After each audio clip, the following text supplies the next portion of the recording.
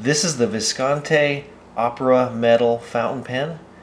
The pen comes in a nice leather box. It has the Visconti logo embossed on the center of the box lid, rounded edges on the box, and a small drawer on one side that pulls out with information about Visconti.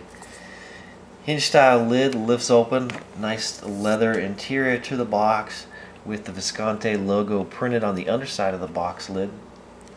And this is the Visconti Opera Metal fountain pen. This is the Monza version of the pen.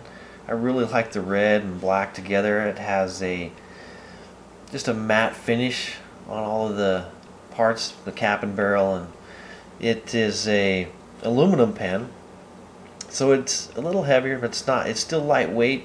Feels like a lightweight aluminum.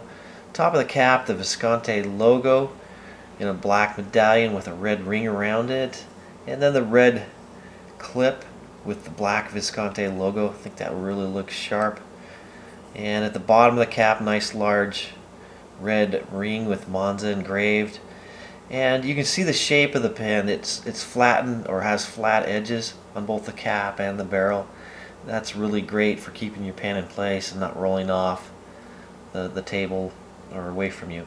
The bottom of the, the barrel of the pen is just a red cap. It has a pointed slightly pointed end on it.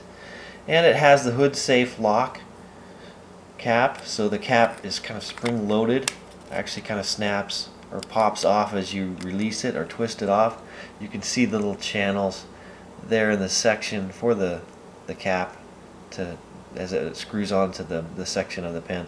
The section is a red color um, and a black color steel nib you can see the tubular design as it wraps around the feed on the backside. Sharp looking pen. Really like the design. Um, looks really, really nice. Um, this a cartridge converter style pen. So to change the ink, you unscrew the section from the barrel of the pen and is included is a Visconti ink converter. You can also use a standard universal ink cartridge if you would like to with this pen. One thing I forgot to mention is the cap will post on the pen. Um, it is quite long, I feel, with that cap posted because that um, cap just barely covers that red section on the bottom of the barrel of the pen and it also has to be at the right angle for it to, to post. Great looking pen. I love the uh, Visconti Opera Metal. Get your Visconti Opera Metal fountain pen at penchalet.com.